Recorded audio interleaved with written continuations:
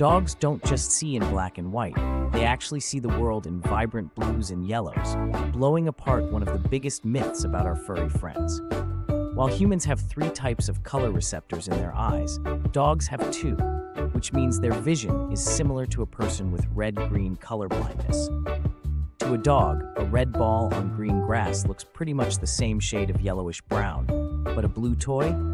That pops out instantly. So if you've ever wondered why your pup isn't interested in a bright red frisbee, it might just be that they can't really see it.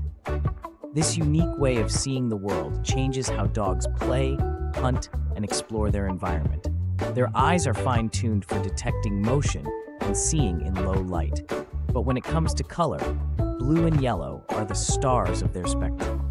Next time you're shopping for dog toys, skip the reds and greens, go for blue or yellow if you want your dog to actually spot it on the lawn. Their world isn't dull at all, it's just painted in a different palette than ours.